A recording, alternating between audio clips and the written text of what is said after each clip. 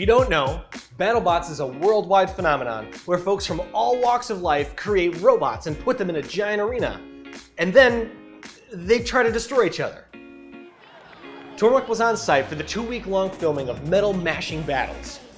We helped almost every single BattleBots team with everything from helping them make weight to full on robot repair. So, here's some behind the scenes footage of the 2018 season of BattleBots. We had a weight problem to the tune of about 11 pounds, which uh, is significant. We tried cutting the tails off, we tried quite a few things, but actually we just couldn't get the weight down.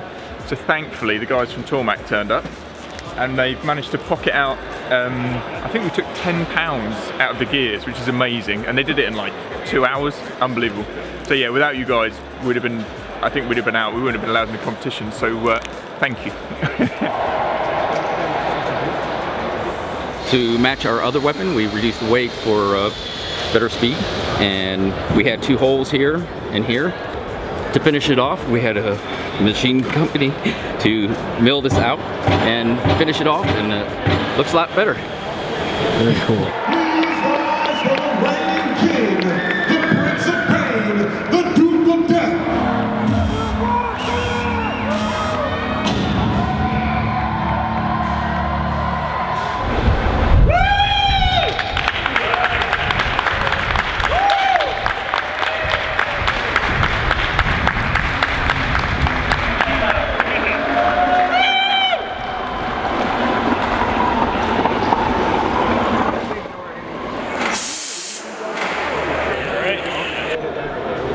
Now where is that going to end up?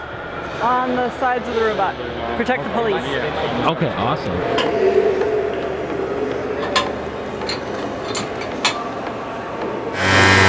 This is chewing, yeah. While in LA, we had more than 200 combined hours of machine time on our 15L Slant Pro lathe and a brand new 1100M.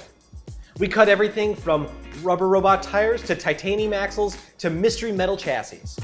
And we helped 90% of the teams get back to destroying other robots.